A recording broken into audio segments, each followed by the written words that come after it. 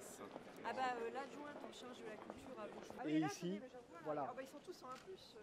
Euh, Nous avons répondu précisément à toutes les questions. Maintenant, la balle est dans leur camp. C'est une question de confiance hein, qui, qui- qui leur est posée. Est-ce qu'ils veulent vraiment faire la SCOP Est-ce que les salariés aussi font confiance à l'équipe qui se propose de poser la SCOP Ils doivent d'ici ce soir déposer un business plan, un dossier auprès du tribunal de commerce. Moi, je souhaite qu'ils le fassent parce qu'aujourd'hui, comme ils ont rejeté la solution privée qui était proposée par Louis Dreyfus Armateur et comme l'État n'a pas le droit d'investir directement compte tenu euh, des règles de Bruxelles euh, sur les, aides d'État, euh, c'est la seule solution qui est sur la table. Le gouvernement fait tout pour sauver les emplois de Cifrance, les emplois des salariés de Cifrance. Donc j'ai reçu hier avec Thierry Mariani les syndicats pour leur apporter des réponses point par point sur les inquiétudes qu'ils avaient par rapport à la création de la SCOP, qui est leur proposition, qui est leur demande. C'est vrai qu'ils avaient des inquiétudes très concrètes.